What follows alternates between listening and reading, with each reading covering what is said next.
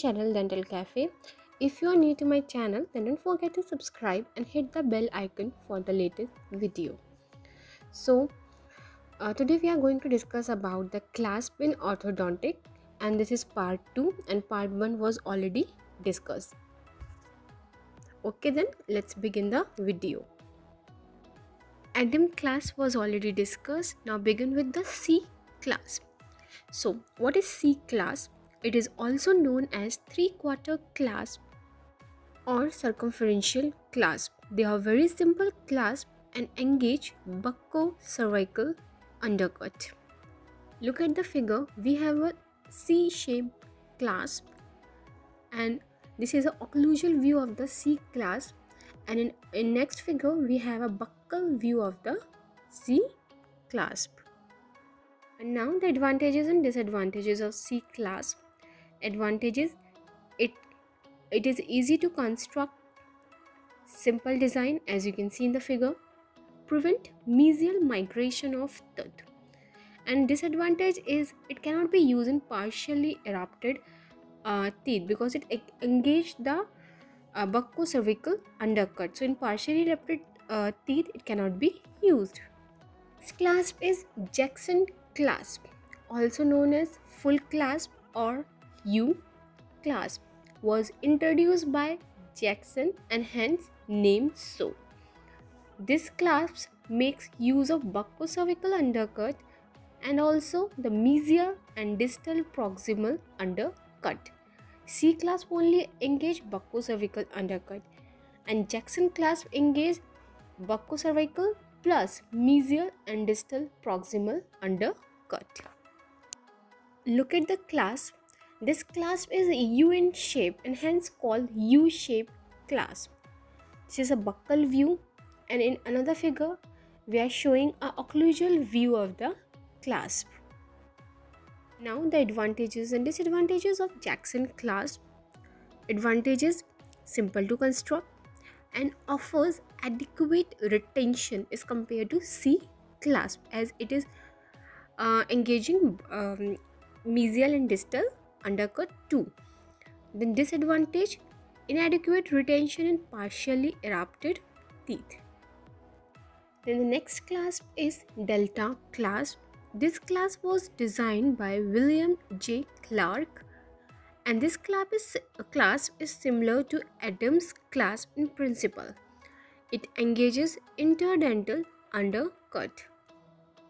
As you can see in the figure, we have an occlusal view of the delta clasp showing how the clasp is engaging the interdental undercuts. In the next figure, we have a buccal view of the clasp. This clasp is Southend clasp.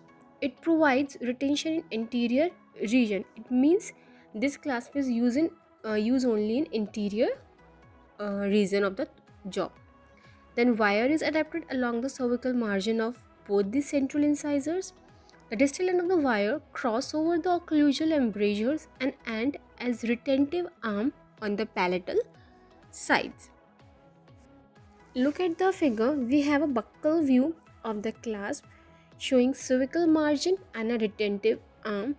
And in the next figure we have an occlusal view showing how it engages across the occlusal embrasures and ends on the palatal surface of the central incisors as a retentive arm.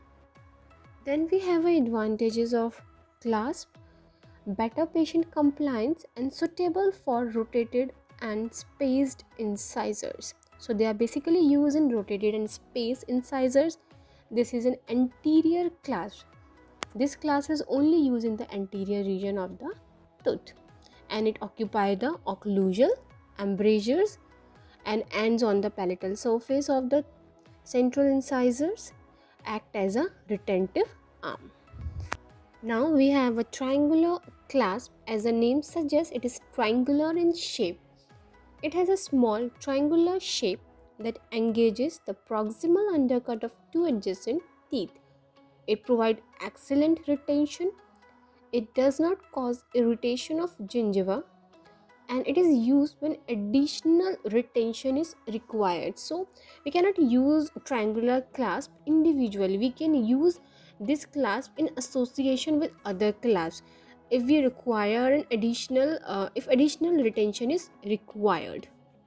Okay now try to understand with the figures. We have buccal view of the clasp. As you can see in the figure the clasp is roughly triangular in shape. Not exactly but somewhat triangular in shape and hence named so. And in the next figure you can see it engage the proximal undercut. So the triangular clasp is used when the uh, extra retention is required. This clasp is ball end clasp. This clasp is also known as shoe anchor clasp. This clasp has a ball at one end which engages the proximal undercut between two adjacent teeth. It means uh, this clasp engages the interdental area. This clasp is used whenever additional retention is required, same as the triangular clasp. Look at the figure, we have buccal view of the uh, ball and clasp. As you can see in the figure, at the one end of one end of the clasp we have a ball and hence named so and in the second figure we have a occlusal view of the clasp showing the clasp was engaging proximal undercut to provide additional retention same as the triangular clasp triangular clasp is also engaging the proximal undercut.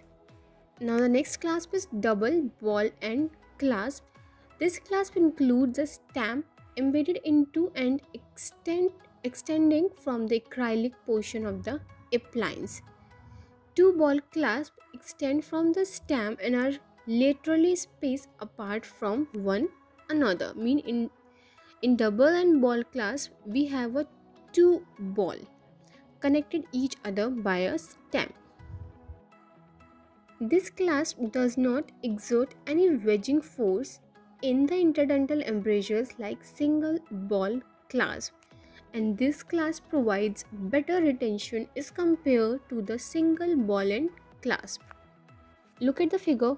We have a double ball clasp with two ball connected each other with the help of the stamp. Next we have a Schwarz clasp. A clasp has a number of arrowheads that engages the interproximal undercut of posterior teeth mean this clasp has not only one have two maybe three maybe four arrowhead that engages the interproximal undercut of the posterior teeth. As you can see in the figure we have a two arrowhead in a Schwarz clasp engaging interproximal undercut. The advantages of clasp this clasp has a number of arrowhead that engage the interproximal undercut of the posterior teeth and provide extra retention. Not interrupted the unerupted tooth or the primary teeth. As it engages the interproximal undercut so it will not uh, affect the unerupted tooth or the primary teeth. Then we have a disadvantages of clasp. It need special arrowhead forming pliers. It occupies a large amount of space in buccal vestibule. As you can see to form a arrowhead. We require arrowhead forming pliers and occupies the interdental area. So they cover the more space in the buccal vestibule. Rest on interdental area so it may injure the interdental soft tissues and it is difficult and time consuming to fabricate. As compared to the C clasp or the other clasp uh, which are simple to fabricate. We have a Crozat clasp.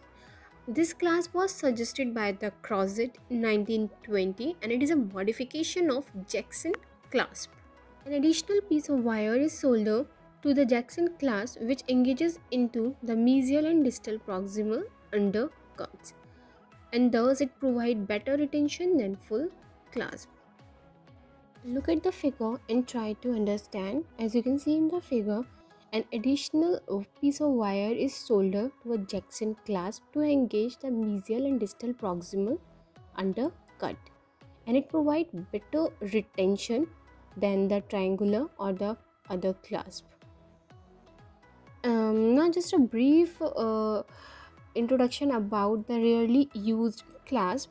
First one is the Duysen clasp advantages possible to use only one half of the clasp. One half may be made to extend fully to the anterior or posterior part of the tooth. And the disadvantages provide limited retention and accumulation of debris is more common in this type of clasp. The uh, figure, this is a buccal view of the clasp. Now we have a eyelid clasp this clasp can be constructed as a single eyelid or continuous eyelid clasp. Eyelid is made using a young loop forming plier. Eyelid are placed in the embrasures. The size of the eyelid depends on the width of the interdental area of both anchor teeth. Look at the figure. Uh, we have a buccal view of the clasp showing eyelid which is placed in the embrasure so its size is depend upon the size of the embrasure and in next figure we have occlusal view. Now the advantages and disadvantages of eyelid clasp. Probability of breaking is very low and not interrupt the tooth eruption. Disadvantages require special plier and then occupies more space and hard to adjust. Next we have a plint clasp also known as flyover clasp. Plint clasp are useful when using a removable appliance in combination with a fixed appliance.